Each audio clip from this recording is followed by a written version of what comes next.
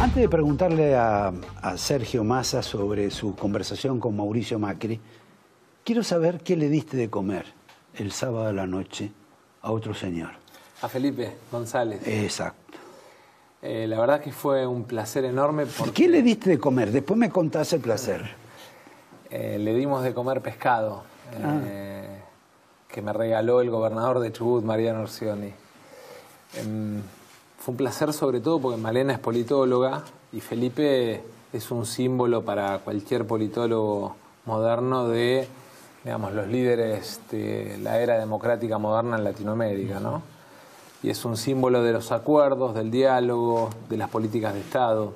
¿Te habrá convencido de que no te pusieras demasiado eh, inflexible con Macri por el tema del acuerdo, que el acuerdo es bueno para el país, para todos los países, para el universo? Un acuerdo es bueno si es un acuerdo planteado seriamente, no por WhatsApp, ¿no? Un acuerdo es bueno si no es un decálogo de buenas intenciones, sino un conjunto de instrumentos sobre la base de diálogo y de la construcción en equipos cruzados de políticas de Estado. Nosotros el 2 de abril, y te lo traje como uno de los regalos, planteamos 10 compromisos por Argentina, que no giran solo en torno a lo que los mercados le demandan a la Argentina, porque está la educación, porque está la seguridad y la justicia, y el tema narcotráfico, porque está el tema medioambiental, obviamente la producción y el trabajo. Ahora, Sergio, eh, ¿eso es lo que vas a presentar mañana vos? Eh, mañana lo que voy a hacer es responderle a la carta del presidente con una carta y con el libro, diciéndole, mire, si queremos discutir políticas de Estado, bienvenido, está este documento, hay un libro además de 270 páginas en el que está abierto y desglosado cada tema, reforma tributaria, tema laboral, eh, tema... Son más de 10 puntos. Son 10 puntos básicos que se abren en temas. La reforma Bueno, tributaria... también los que propuso Macri. Exactamente. Ahora, cuando vos hablaste con él, que hacía mucho que no hablaban, ¿no? Más de tres años. Más de tres años. ¿Cómo fue la charla? ¿Amigable? ¿Cómo es? A ver, fue una charla en la que le planteé con mucha claridad y con seriedad el momento que vive la no, Argentina. pero empecemos. Hola, ¿cómo te va? Tanto tiempo. Hola. Hola. Hola. Y, y le planteé los ¿De problemas. familia no hablaron? No, no, no, no, no. Fue. Obviamente que uno trata de dejar las cuestiones personales, más allá de las descalificaciones y ataques que él virtió sobre mi persona, uno siempre eso lo deja de lado porque hay una responsabilidad institucional. Pero. Y le dijiste que le ibas a mandar la carta que le ibas a mandar mañana. Sí, sí, claramente que le iba a responder por carta, que para mí la agenda no era una agenda cerrada, que de ninguna manera se podía ceñir esos puntos, porque esos puntos eran puntos que estaban pensados más en términos de lo que le demandaba el mercado que lo que demandaban los argentinos. No podemos construir un acuerdo por la Argentina sin tener claro que la educación tiene un papel central. No podemos construir compromisos por la Argentina sin poner en marcha acuerdos alrededor del funcionamiento del sistema judicial en un momento en que la idea de impunidad convive como fracaso en toda la sociedad. El trabajo y las jubilaciones, pero como valores, no como eh, cláusula de ajuste o recorte de la economía argentina. Ahora, La Baña también presenta su propio plan de 10 puntos. Estamos 10 tuyos, 10 de La Baña, 10 de Macri. Supongo que Cristina, como esto de un modo u otro, ¿quién lo impulsa? ¿El Papa o el Fondo Monetario? ¿O los bancos? Nosotros lo planteamos el 2 de abril y planteamos la necesidad de que Por Argentina recorriera, sí, por nuestra cuenta, de, de que Argentina recorriera eh, el camino de las políticas de Estado. Eh, lo planteamos además con docentes, dirigentes rurales, con empresarios, con trabajadores, nos sentamos con gran parte de los dirigentes de la CGT, con Carvap, con Coninagro, con todos los sectores que entendemos que forman parte de la vida política y económica de la Argentina.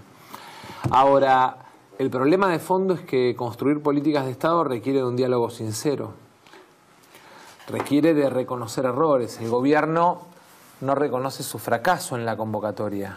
O sea y si sería- llegamos a este punto, es básicamente porque fracasó Cambiemos. Ahora, eso finalmente el reconocimiento o no de los errores no cambia nada para lo que se va a hacer hacia el futuro. No, pero es eh, parte del diálogo sincero, porque si yo, digamos, no parto de, un punto en el cual digo, miren, me equivoqué en este camino, es muy difícil que pueda rectificar el rumbo. no me lo veo a Macri golpeándose el pecho diciendo... Bueno, pero parte de la necesidad de recorrer un camino que hasta la elección le permite a la gente vivir en paz y sin incertidumbre y le permite a los argentinos elegir para el futuro sin el miedo como gran actor, sin el miedo como gran actor y sin que esto sea visto como una timba eh, alrededor del proceso electoral en el cual elijo eh, adversarios buenos, adversarios malos, oposición buena, oposición mala. ¿Eso, ¿Eso lo hablaste con él? Sí, claramente. Es decir, o sea que él la llamó a Cristina hoy. Eh, entiendo que, por lo que leí en los medios, ¿eh? yo no volví a hablar con él, pero entiendo que le envió una carta. ¿A una carta, no que la llamó? Yo no había entendido que... Bueno, no lo sé, no lo sé. En fin, no lo sé, no, lo sé, no quiero hablar... Son, grandes los dos, diríamos, como somos más jóvenes nosotros, decimos que ellos son grandes, todavía escriben cartas. Este, pero esto estaba en la idea no, No, no, yo planteé, le planteé claramente que tenía que hacer una convocatoria a toda la oposición, que tenía que ser fehaciente por carta, que tenía que ser no solo a los sectores políticos, sino también al mundo del trabajo y a la Iglesia como mediador del diálogo, porque me parece que en un diálogo donde tenemos miradas distintas, empresarios, trabajadores y diferentes sectores políticos, alguien tiene que funcionar como mediador. Ahora, tiene que haber una mesa seria, tiene que haber una mesa en la cual nos despojamos, vamos dispuestos a, vencer, a, ceder, digamos, a vencer las resistencias de unos sobre otros y a tratar de ponerle en marcha al país un mínimo marco de políticas públicas en los temas que son urgentes hoy y que no están. Y con un, eh, digamos, con un Zamoré en el medio que dice este tema me parece más importante que este otro. Con alguien en medio para que no sea un diálogo de sordos. ¿Te puedo hacer una sugerencia? Sí. ¿Por qué no pedís también que esas reuniones sean públicas? Se televisen. Bueno, Así todos sabemos qué piensa cada uno. Exactamente. Francamente. Y no me lo, que me lo cuenten después, como hacía el doctor Kirchner, que seguían reunidos los gobernadores, salía primero y decía, pasó esto, esto y esto, yo soy un crack, los otros son unos delincuentes, y después resultó que era un poco al revés. Una de las cosas que le planteé al presidente es que lo que no podía hacer eh, es que los medios se enteraran primero de lo que los dirigentes nos íbamos a enterar después, esto de la filtración de la carta, de la filtración de la convocatoria, de la filtración de los puntos, pretende imponerte una agenda. Y ahí es donde aparece la suspicacia y la sospecha de que en realidad no hay vocación de acuerdo, sino simplemente una especulación electoral. Ahora, ¿no queda demasiado expuesto Macri si esto finalmente él lo condiciona de otra manera? Es que el gobierno fracasó por sus propios errores, no por culpa. Este es el gobierno que menos paros tuvo, es el digamos de los no peronistas, es el gobierno que menos paros tuvo, es el gobierno que más leyes sacó con apoyo de la oposición, es el gobierno que más colaboración tuvo de los gobernadores. Los gobernadores tienen que estar en la mesa, porque Argentina tiene que discutir el federalismo, el federalismo en materia tributaria, el federalismo en materia de desarrollo. ¿Qué vamos a hacer con el ferrocarril? ¿Cómo vamos a proveer de energía a gran parte de la Argentina que hoy está fuera? ya es, todo eso es como una especie de entre una nueva constitución y un plan de gobierno hecho por todos. Es que la Argentina necesita, si yo soy presidente el 10 de diciembre, el 11 de diciembre tengo que llamar a un gran acuerdo económico y social. La tarea que viene por delante en la Argentina en materia de reforma educativa, en materia de reforma del sistema de ciencia y tecnología para agregar valor a la economía argentina, en materia de servicio exterior, nosotros tenemos que enfocar nuestra Cancillería en la venta de trabajo argentino al mundo. En materia de cambio en la justicia, no podemos seguir con esta justicia sospechada y además todo el tiempo con la idea de que es conniviente con el delito en la Argentina, en los casos de corrupción y en los casos de violación. Porque acá la impunidad no es solamente la idea de que el que robó no va preso, es la idea de que el que violó está en la verdulería del barrio. Y es parte del problema de la Argentina. Sergio, me distraigo un poquito sobre este tema para preguntarte algo más doméstico, familiar. ¿Vos esperabas que Labaña se propusiera como candidato presidencial después de estar tanto mm. tiempo con vos? Primero, yo creo que Roberto siempre expresó el liderazgo de una Argentina de desarrollo productiva y creo que es una persona hiper valiosa, muy valiosa. No me contestaste la Entonces, no, no, no, pero Ah. te, lo, te lo estoy desarrollando. Siempre, de hecho fue candidato a presidente en el 2007, siempre tuvo aspiración y es válido y es legítimo y tiene derecho y bienvenido sea que en Alternativa Federal tengamos la capacidad de competir si esa competencia es convergente y es complementaria. O sea, yo veo en la baña valores que inclusive a lo mejor yo en la sociedad no logro representar y él puede representar. Y a lo mejor yo tengo otros valores que la sociedad ve en mí que la baña no logra representar o no puede representar. Y Urtubey tiene otros valores que también aportan. Bueno, eso implica de la suma. una, una elección interna. Claro, pero sobre todo eso implica que tenemos que, más que competir, entender que colaborando entre nosotros le podemos dar a la Argentina una alternativa. Ahora, llega un momento del embudo donde hay que poner los nombres. Y ahí la gente elige y la gente es la que selecciona y la gente es la que define. Y me parece que es el mejor camino, porque es el camino en el cual cada uno aporta ¿eh? en esa tableta multicolor de la Argentina del acuerdo que pretendemos representar su color representando a la sociedad. Y después de la suma de esos colores, poder expresar ese arco iris que la Argentina necesita desde el 11 de te salió diciembre. poético, Sergio. Pero No, no te conocí esa beta. no, no, es, eh, es simplemente tratar de explicarlo. A veces lo explico con la comida, otras veces lo explico con... Los pero colores. trato de explicarlo desde el punto de vista más conceptual, que la gente entienda que el arco iris es la suma de colores, no un solo color. Y que Argentina lo que necesita es un enorme gobierno de coalición. Pero el origen de italiano de Mauricio hace que él- los gobiernos monocolores de Italia él lo haya tratado de trasladar a la Argentina. Te voy a contar algo que nunca conté. Me y parece que, bárbaro. y que me parece que define un poco este tiempo. Cuando tomé la decisión de ir a Davos, contra la opinión de todos, de José de la Sota en aquel momento, del propio Labaña, de mi mujer, de todos los que me quieren bien y me querían bien, que me lo planteaban como una marca que iba a cargar a lo largo de los cuatro años de gobierno de Macri, lo hice pensando en el país. Y lo hice convencido. Y lo hice con el corazón sin especulación. Cuando volvíamos en el aeropuerto de Frankfurt, Te contestó con el bolsillo. le planteé que era tiempo de que llamara un acuerdo económico y social, que construyéramos un Consejo Económico y Social, que definiéramos con los gobernadores y todo el peronismo políticas de Estado para la Argentina y que él tenía la oportunidad.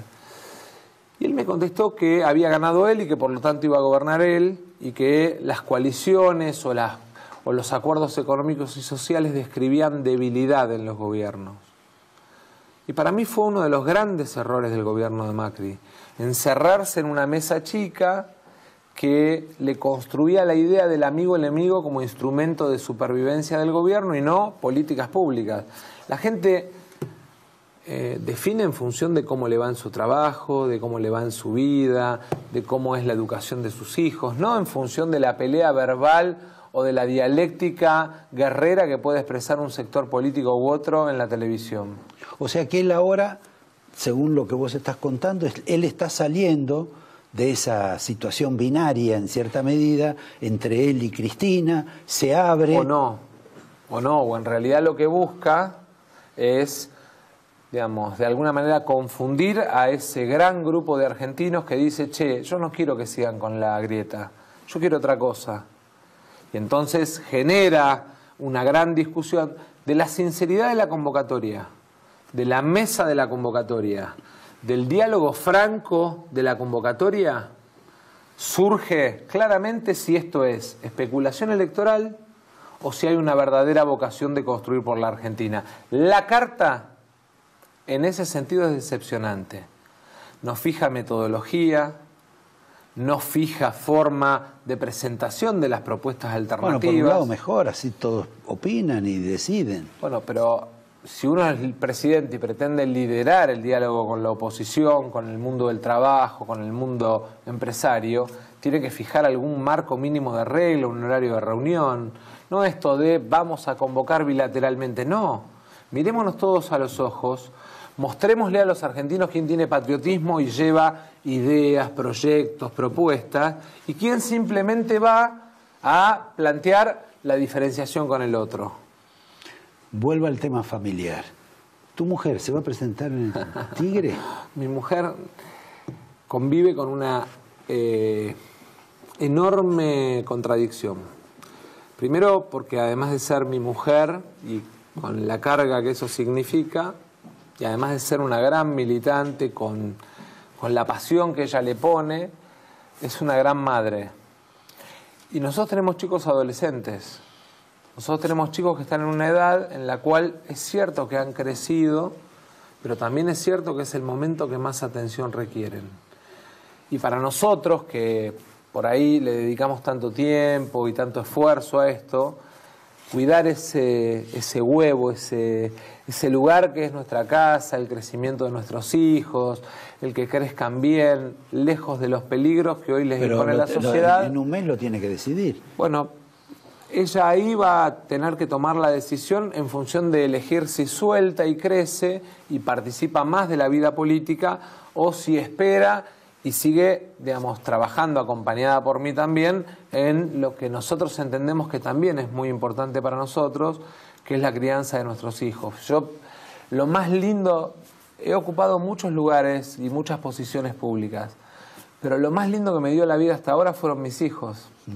Y entonces... Para que tengas nietos. Y cuando tenga nietos me voy a babear peor. Entonces, cuidarlos para mí y acompañarlos y acompañarlo a él al fútbol y acompañar a ella a danza y, mirar el tema del colegio. Para nosotros es una cosa que además nos, nos hace sentir digamos, muy bien como personas. Eh, por último, y te mezclo casi dos preguntas juntas. Una, tú, tu partido, tu línea, este, tu rubro dentro de la alternativa federal, uno sabe que la baña le saca más votos a Macri que los que le saca a Cristina. En tu caso, ¿vos le sacas más votos a Cristina o le sacas más votos a Macri? Y en esa condición, ¿tu mujer es más pro Cristina que vos? Mi mujer y yo tenemos distintos lugares de militancia y entonces está claro que Malena tiene un profundo compromiso con los sectores más humildes en el trabajo cotidiano. En la conceptual, los dos creemos que Argentina tiene que derrotar la pobreza y que es la tarea más importante, y que a la pobreza se la derrota con trabajo y educación. Todo lo demás es cuento. Animarnos a transformar los programas sociales en programas de empleo, animarnos a transformar la idea de el Estado eh, dador contra el Estado promotor y capacitador del que está en la pobreza para sacarlo es fundamental.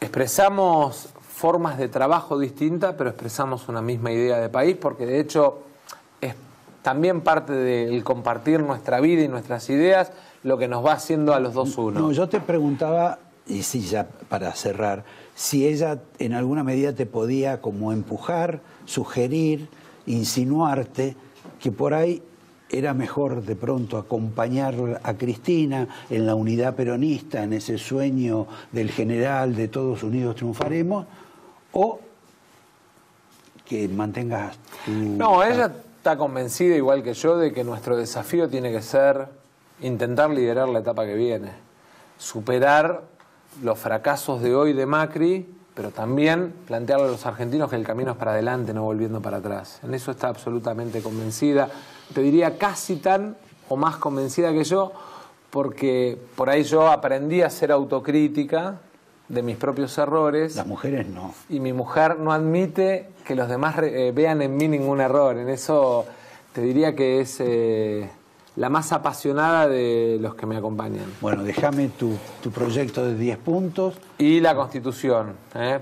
14 y 14 bis, trabajo, seguridad social valores que el presidente Macri debiera de leer todos los días.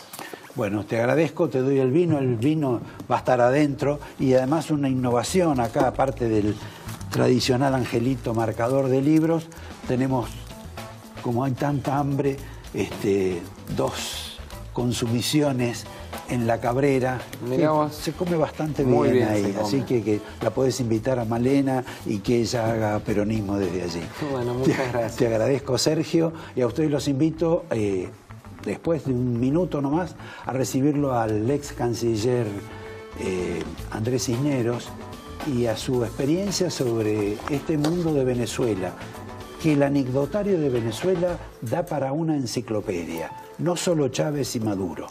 Veamos los chinos, veamos los rusos, veamos los cubanos y veamos los iraníes. Todo en el medio del oro y el oro negro. En un minuto. Gracias.